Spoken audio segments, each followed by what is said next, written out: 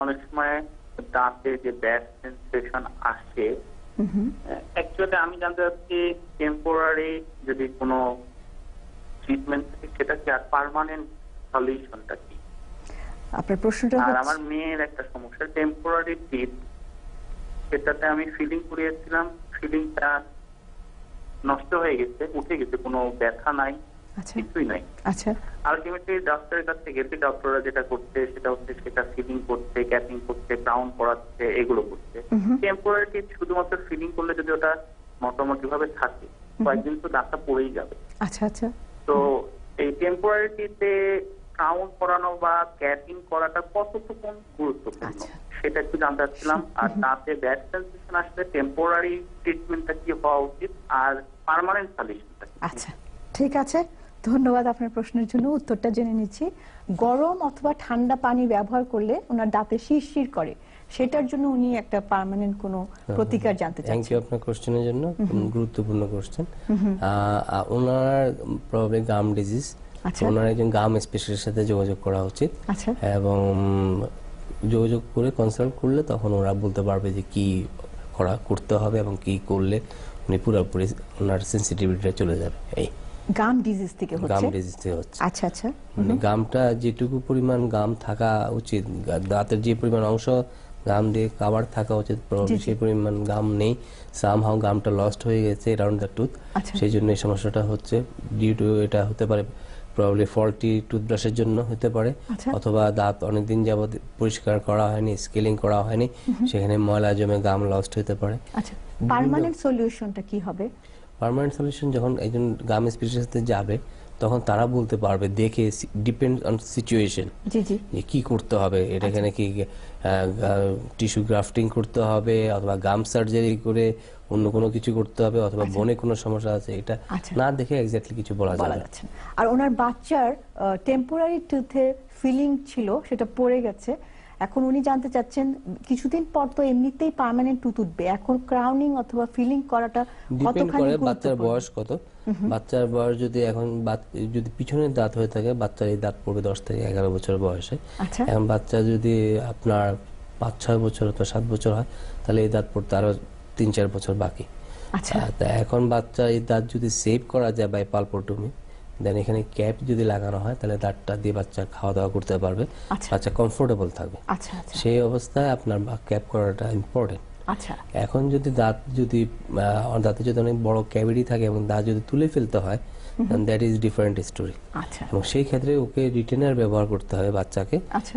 নিচে যে পার্মানেন্ট টিথটা আছে সেটা যেন নর্মাল শেপ নর্মাল জায়গায় আসে নর্মাল। প্লেসে আসে অন টাইম তার মানে ফিলিং করাটা গুরুত্বপূর্ণ। হ্যাঁ ফিলিং করাটা ফিলিং টেম্পোরারিটিতে ক্রাউন করা পালপোটমি করা ইটস গুরুত্বপূর্ণ অবশ্যই আচ্ছা। কারণ বাচ্চা খাওয়া দাওয়ার জন্য এটা খুব কমফোর্টেবল এবং কাজে লাগবে। আরেকটা কল আছে ইমা মিশিগান থেকে। ইমা বলুন আপনার প্রশ্ন। জি আমি মা বলছি আমার বয়স ত্রিশ। তো আমার সামনের দাঁতের দুটো দাঁতের মধ্যে একটি দাঁত খুব বেশি গাঢ় লাল হয়ে গেছে। তো আরেকবার বলবেন কি হয়ে গেছে? দুই বছরের মতো হয়ে গেছে। কি হয়েছে? লাভ হয়ে গেছে গাঢ় হয়ে গেছে। আচ্ছা আচ্ছা। হুম হুম বলুন প্রশ্ন বলুন। মাঝে মধ্যে ব্যথাও করে। আচ্ছা।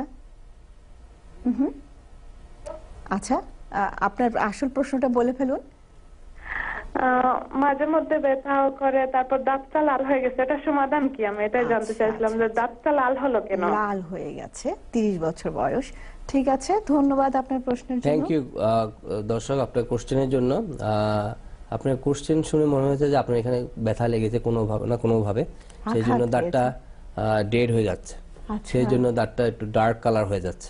আচ্ছা। আপনি অ্যাজ সুন অ্যাজ পসিবল একজন ডেন্টিস্টের সাথে যোগাযোগ করুন। উনি আপনার এক্স রে নিয়ে বলবে যে আপনার কি- কি সমস্যা। প্রবাবলি আপনার দাঁতটা রুট ক্যানাল করে ওখানে ক্রাউন করতে হবে।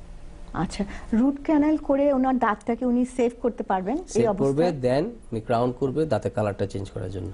আচ্ছা ক্রাউন পরলে কালারটা আর্টিফিশিয়ালি আমরা কালার চেঞ্জ করছি। আচ্ছা আচ্ছা। ডক্টর কাদের আসলে আমি জানতে চাচ্ছিলাম যে আসলে সাধারণ দাঁতের যত্নটা কীভাবে করা উচিত?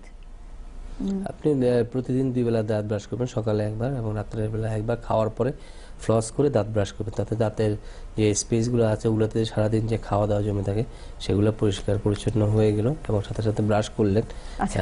তারপরে যে দাঁতের চারিপাশে যখন খাওয়া স্টিক হয়ে থাকে সেটাও বেরিয়ে গেল আচ্ছা, আচ্ছা। তাহলে সারা আপনি যে সারা- আপনি যে যখন ঘুমাচ্ছেন অথবা রেস্ট নিচ্ছেন তাতে যে খাওয়া দাওয়া থেকে যে ব্যাকটেরিয়াগুলো দাঁতের মাড়ি এবং দাঁতের যে ক্ষতিটা করে সারা রাত। সেটা হচ্ছে না তাহলে আপনার দাঁতটা সুস্থ থাকছে। আচ্ছা। ডক্টর কাদের একটা কল আছে কবির পেনসিলভেনিয়া থেকে। কবির বলুন আপনার প্রশ্ন। ওয়ালাইকুম সালাম। আমার সমস্যা হচ্ছে আমার দাঁতের মাড়ি থেকে আমার দাঁতের মাড়ি থেকে একটু একটু রক্ত বের হয়। আহ, আচ্ছা। আর আমি প্রতিদিন ঘুমানোর আগে ব্রাশ করে ঘুমাই। আচ্ছা। গত দশ বছর ধরে আমি এভাবে করতেছি আর কি। আচ্ছা।